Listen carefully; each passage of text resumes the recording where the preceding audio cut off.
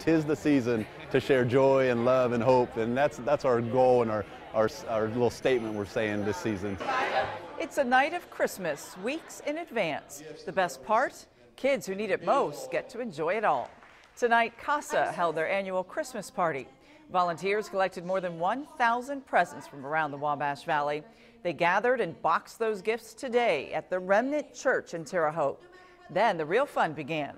Volunteers handed out those presents to children who are part of the CASA program. CASA stands for Court Appointed Special Advocates.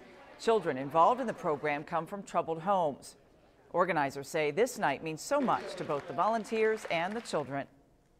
This event is so important for the kids that we serve because we have a lot of kids that don't get Christmas um, and don't get to see Santa Claus like yours and my kids do. Listen to this. Nearly 500 kids registered for tonight's exchange. Organizers say they believe the final numbers will likely be even higher. Learn how you can become a volunteer by going to our website.